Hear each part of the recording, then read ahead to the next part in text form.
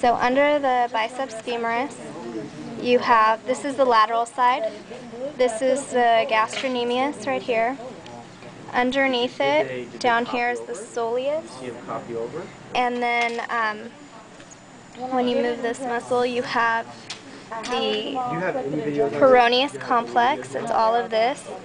And then the skinnier tendon next to it is the extensor digitorum longus. All of that. And then this is the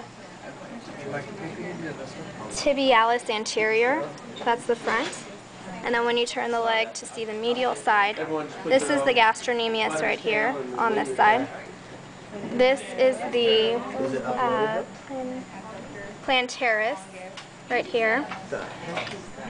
Next to the plantaris, the skinny one is the flexor hal- hallucis longus, is the skinny one. And then this thicker one next to that is the flexor digitorum longus.